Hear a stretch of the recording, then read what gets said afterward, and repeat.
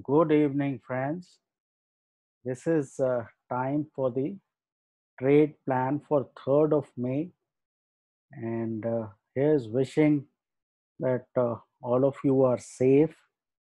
The news has been extremely bad, and uh, the situation on the COVID front does seem to be extremely grim.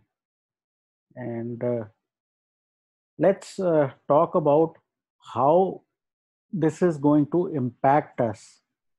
So let's first start with the US markets, which had a down closing after many days. I don't think uh, immediately that should have an impact. So before we go forward, let me request you to like, share, subscribe the channel. And uh, for membership services, you can go to the Ashwani Gujral channel, click on, uh, you know, join and choose, uh, you know, uh, gold, silver, diamond, platinum, copper, etc. Uh, the best of the lot is the platinum service where I'm sitting with you all day long and we take uh, trades together. Now, let's talk about fear you know last time around in 2020 when we had corona people were not fearful as much. And you know there was a 2 to 3 month lockdown. And uh, once it was over people believed that they could get back to work. Now this time around this fresh strain of corona the double mutant etc this is a very, very dangerous strain. And what it is doing is it, you know, basically attacks your lungs. And that is the reason you are seeing this problem of oxygen. And uh, as in the case of Rohit Sardana, all of a sudden, you know, within hours, your condition can deteriorate so much that, you know, you can lose your life. So what I am, you know, basically seeing around me is that there is very serious fear to go out. And if this kind of fear remains, I think it'll definitely impact the economy and surely the markets also. You tell me how many people would be willing to make fresh investments, start new businesses, you know, trying to expand, etc. As it is, I think the industries which are opening are seeing a spread of this virus. And we have numbers at 4 lakh. Possibly by next week, we could be at 5 lakh. So, you know, all countries are kind of disengaging and are banning travelers from India. So that could mean that uh, you know uh, further economic ties, etc., from the globe getting impacted.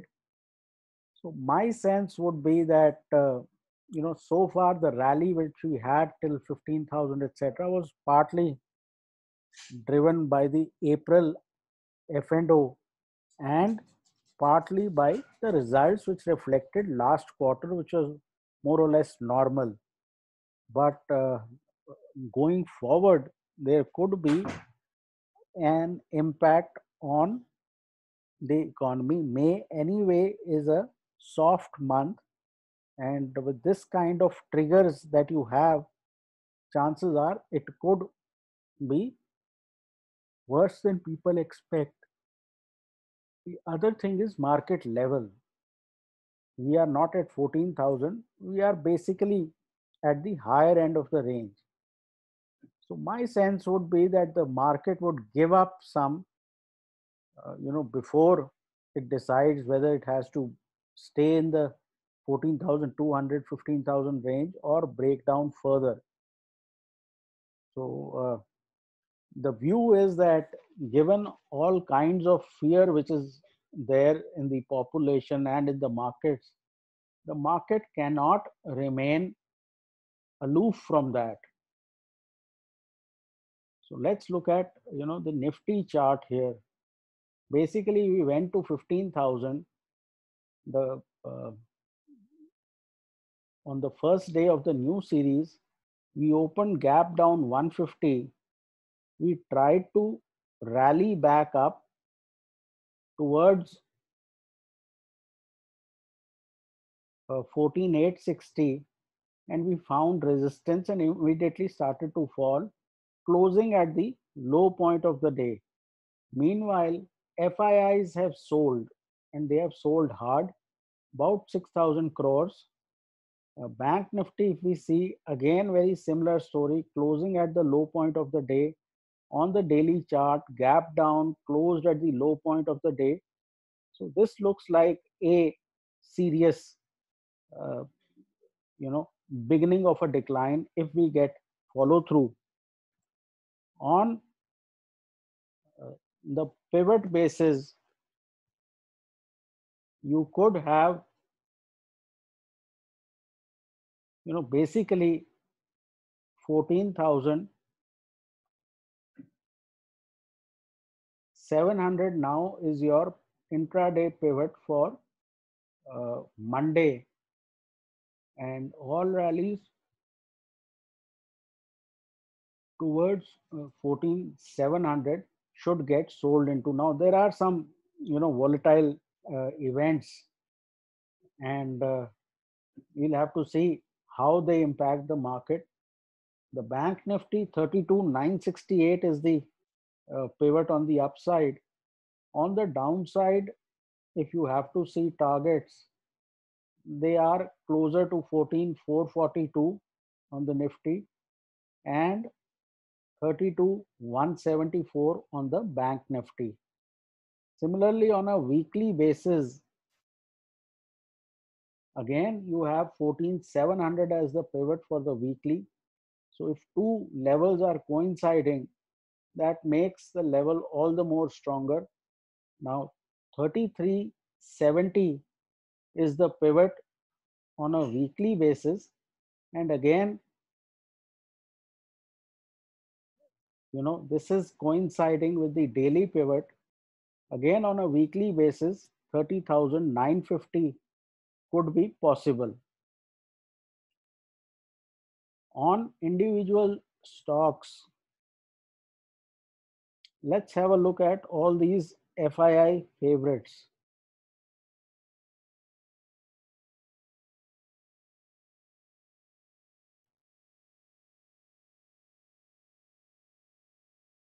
This is HDFC. So again, look at the way HDFC chart is panning out, where you had a very sharp decline post a very mild rally. So there could be more declines on these HDFC twins, which uh, the foreigners own a lot of. Again, HDFC Bank, if you see, it rallied higher and from the 50 DMA, it has shown rejection. This is the way a rejection looks like. If you look at uh, TCS,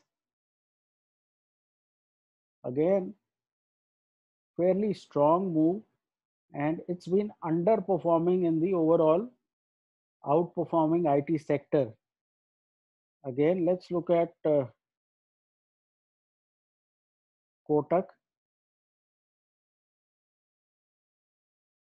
Rejection from 50 DMA and likely to get down to this uh, 1660 type of zone. Let's look at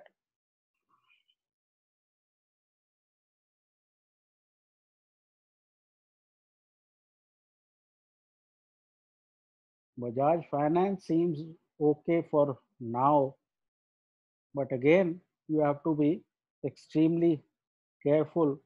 So any all of these FI favorite type stocks could get into trouble. Financials and NBFCs could underperform. So that should be taken on board. And I would be very interested in seeing how this fear on Main Street impacts fear on Dalal Street. My sense is that things have kind of come to a halt in terms of the economy. Now, we can say that it's temporary, or we can say that in the short term, uh, you know, if money is going to move to the sidelines, given global media, etc., whatever is getting published there, that could be another view. But if we see follow through on Monday, then I think there could be more downside. Let's see if that happens. That should be it. Take care, trade well, and please consult your financial advisor.